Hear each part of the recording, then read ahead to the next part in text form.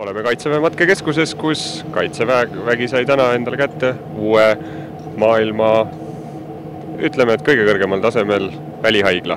Ja vaatame, mis siin sees toimub. sõja- ja katastroofimeditsiinikeskuse leitnant Valter Voomets, oleme siin uue Eesti Kaitseväele ostetud välihaigla juures ja teeme kiire tiiru, et näidake palun, kus me hetkel oleme, mis siin ruumis on tervist, asume Kaitseväe uues Rool kaks välihaiglas, hetkel oleme siin triaaži moodulis, see on siis esimene koht, kus patsient auto pealt maha võetes korraks pannakse, pannakse raami peale, ratastega raami peale, tehakse triaaž, otsustatakse, kui raskes seisundis kannataja on ja vastavalt sellele siis liigub edasi kas siis erakorralise meditsiini osapoole või, või teisele poole ravimoodulisse kuna tegemist on sellise kompaktse konteiner, konteinerlahendusega, siis iga kuupsentimeeter ruumi on arvel, me oleme kõik need täitnud kappidega, kraanikaussidega ja ku-, kuhu iganes me saaksime varustuselemente paigutada.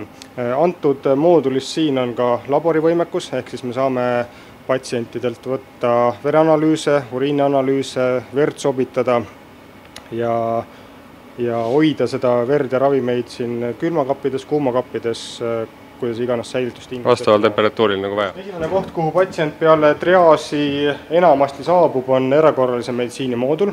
siin on kaks töölauda, kaks traumameeskonda saavad siin korraga töötada. kõik vajalik aparatuur on konteineris seinte küljes, ehk siis me ei pea kuskilt eraldi varustusauto pealt midagi tooma, vaid, vaid kõik on kohe seina peal olemas, sinna kinnitatud.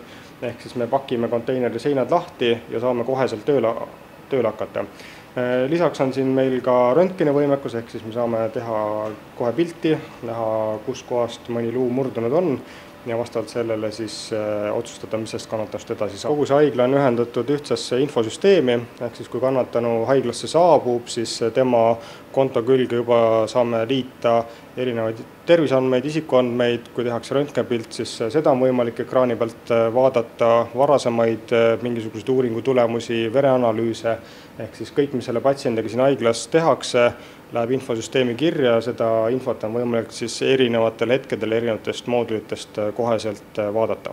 peale erakorralise meditsiini moodulit patsient suure tõenäosusega saabub siia operatsioonimoodulisse, jällegi on siin kaks operatsioonilauda, kaks kirurgiameeskonda saavad korraga töötada, kogu vajalik varustus jällegi kinnitatud seinte külge või siis rataste peale, ehk siis et me saame selle konteineri töökorda seada väga ruttu. me ei pea siit midagi välja tassima, midagi eraldi, eraldi sisse tooma. lisaks konteinerid suudavad toota endale ise hapnikku, tagada endale ise elektrit ehk siis see konteiner on täiesti autonoomne, me ei pea ootama mingeid hapnikuballoone või, või mingit lisa, lisakonteinerit, vaid, vaid seesama kapitagune siin on tehnikat täis ja ise ruumi õhust see konteiner toodab vajalikku hapnikku. enne kui patsient peale operatsiooni lõppu jõuab intensiivravimoodulisse, siis samal ajal on väga tähtis osa ka varustuse logistika, ehk siis kirurgilised instrumendid, mida operatsiooni ajal on kasutatud, need siis saabuvad siia sterilisatsioonimoodulisse. Mustal poolel need pestakse ultraheli vannis, lähevad läbi pesumasinate, seejärel autoklaavi ja lõpuks siis steriliseeritud instrumendid on võimalik siinsamas ka steriilselt pakendada, ehk siis nad on kohe valmis järgmiseks operatsiooniks.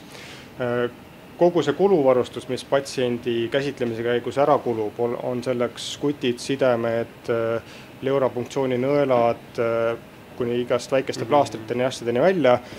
kõike neid meile siis tagab apteegimoodul, ehk siis siin on varustuse kapid, siin on ilusti meditsiinilised külmkapid, seal saame hoida verd, ravimeid, kõike kuluvarustust, mida siis tarvis on mm. -hmm. ja liigume viimasesse moodulisse ehk siis intensiivravi moodulisse, kus on võimekus vastu võtta neli patsienti igalühel on olemas siin äh, hapnikuvõimekus äh,, ravimite manustamise võimekus äh,, mis veel?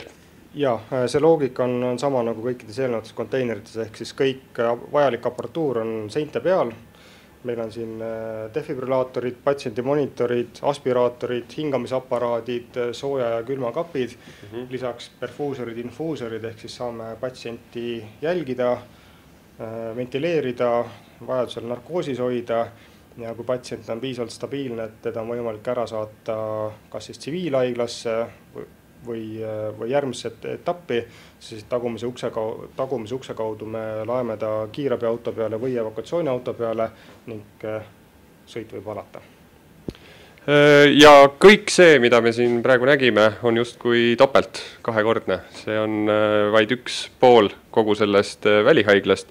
sellel on ka teine pool, mida on võimalik siis autonoomselt nii-öelda lahti ühendada ja kasutada eraldiseisvana